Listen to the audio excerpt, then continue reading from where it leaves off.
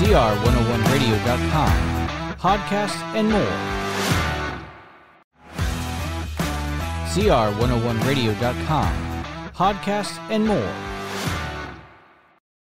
So, is money perhaps truly the root of all evil? Let's discuss. Hi, welcome back to another episode of the Rob Halliday Perspective. Let's begin. So, I think you've heard this a lot. I think you've heard a lot of people say that the the problems of the world are are a corruption that is originated by the love or by by money right?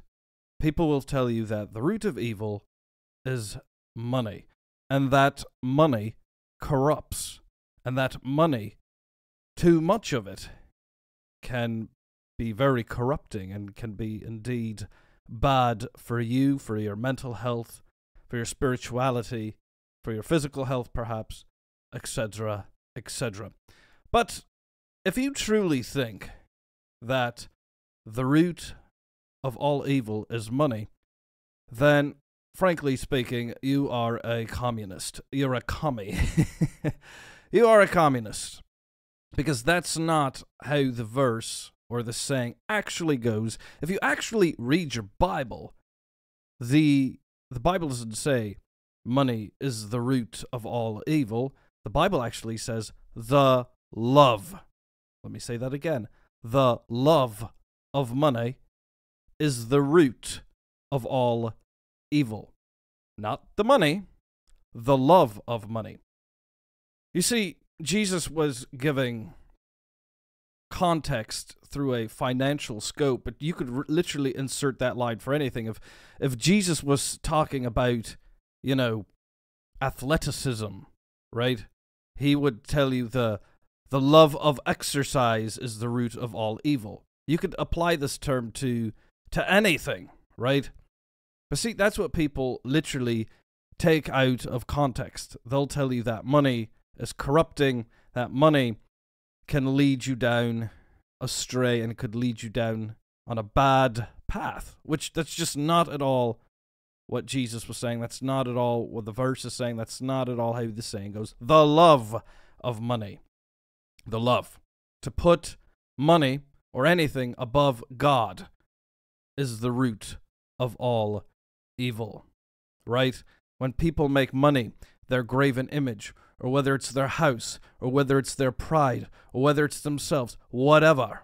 That is the root of all evil. To love anything more than God Himself is the root of all evil. Money has nothing to do with it. Now, if you do love money more than you do God, then yeah, that is the root of evil. But it is the love of that object, right? You could even say it to innocent things. The love of the love of apples. the love of apples is the root of all evil. It wouldn't make a difference if if you put apples above God, then you, that is the root of evil, right? Very very simple. To think otherwise, like I said earlier, you are a communist. But I, I, I do want to basically shift gears a little bit. I actually want to talk about money in and of itself because in today's society, money in the ancient times is a very different concept of money of today. Today, money is is fiat currency. Okay, that's how we describe our money. Before, in ancient times and even not not too long ago, money was basically a bridge currency to take two different assets and bridge them together. Okay, today that is not the case at all. Before, currencies were actual assets, right? Currencies were typically gold, silver, precious metals, other commodities, etc. Meaning the currency in it of itself had a value, right? Today, that is not the case. Money has been completely changed and redefined. M- money today is now fiat currencies, right? That's what most worlds use.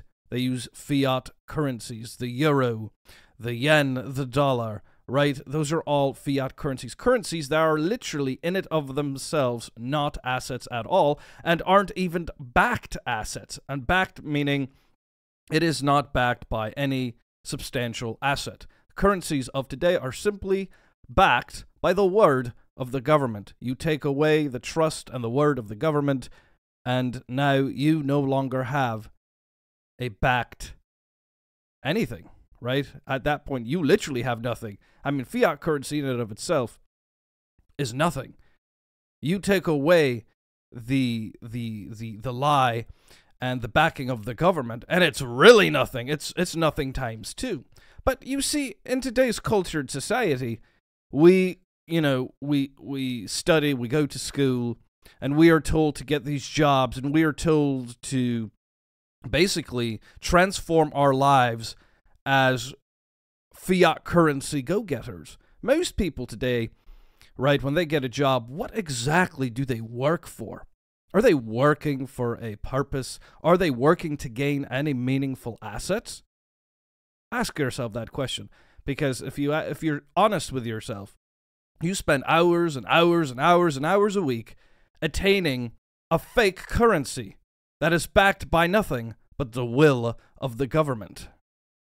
What exactly are you attaining? What exactly are you working for when you work a traditional job? You see, in the ancient times, right, when you had a traditional job, you were typic, you know, you were typic, typically compensated with a asset. You weren't compensated with with a fiat currency. You were compensated with an asset. And yes, you could be compensated in a form of currency, but that currency in it of it of itself has to be an asset. You know, in ancient times, people used, like I said, silver, copper, um, gold. Right? If if I was to get paid in gold, people, you know, that is an asset.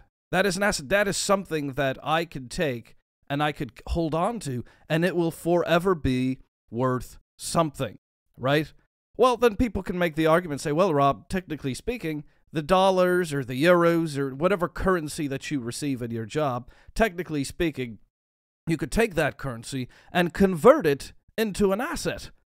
Which, yes, they are right on a on a subsurface level, on a surface level, but really, think about it. You're going to work all these hours for a fiat asset that is, mind you, heavily manipulated, heavily inflated, then you're going to take that fiat currency and then you're going to convert it into an asset at a much lower inflated cost? Well, that doesn't make any sense. Well, what if you spend your entire life? What if you spent your entire life working 40, 50 years of your life, right? And you've amassed a substantial savings, and now you wish to retire, and you got a good chunk of change in your bank, right? And then the government collapses or the government goes away or the currency changes or a war takes place and that country is no longer in power. What happens to your hard earned work? It's gone. Gone. Disappeared. Because now everything that you worked for is gone. You see that can't that can't be said for assets. That can't be said for gold. That can't be said for silver. If you have gold or if you have silver if i took that silver coin and buried it in my backyard that one coin is still going to be one coin, whether it's 10 years from now, 20 years from now, 100 years from now. If I buried a fiat currency today, in the next 100 years, next 20 years, 40 years, that currency may not even exist, right? It may not even exist.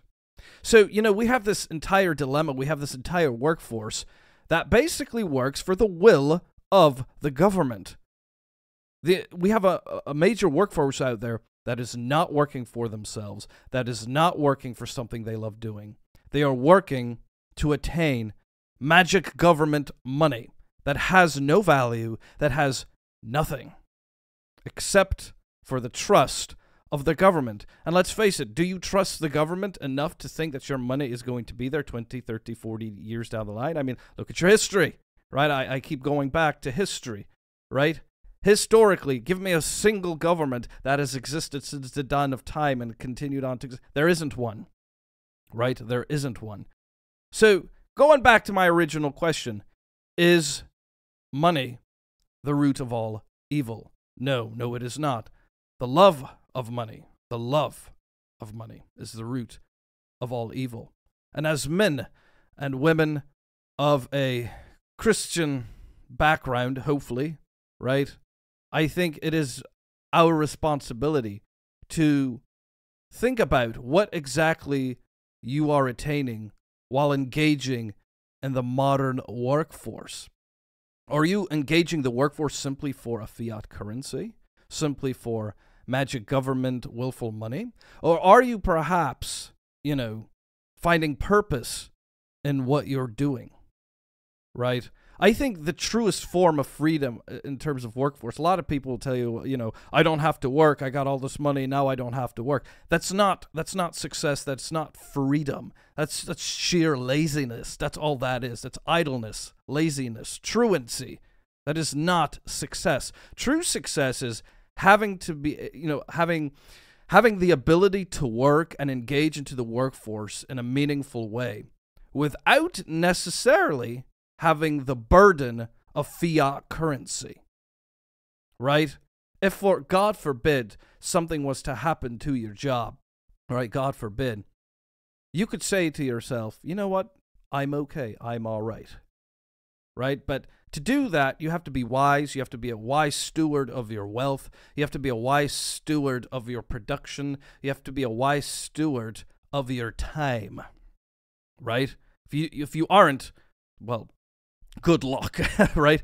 So that, in my opinion, is true success. Finding a a a purpose in life that isn't reliant on fiat currency. Because, like I said, if you look, you know, people like to, you know, determine your calling. You know, what is your calling? You know, yada yada yada yada. And historically speaking, if you look back into, if you look at the Bible, if you look at all the examples uh, that that God gives us and all the various characters, nobody really made money or currency from their calling. Their calling was something that they did uh, either primarily or on the side, doesn't matter. But it is something that they had a passion for, something that, regardless of what happened, they would continue to fulfill their calling, right? I think it was, uh, was it Matthew or Paul it, it's it's not coming to me at the moment. But one of them were uh, one, uh, one of them were uh, they you know a lot of them were fishermen and yada yada. But one of them was a tent maker. I think it was Matthew, perhaps Paul. Uh, I'll have to lo- I'll have to clarify later. Brain's not working, but he was a tent maker, right? That's how he made his currency.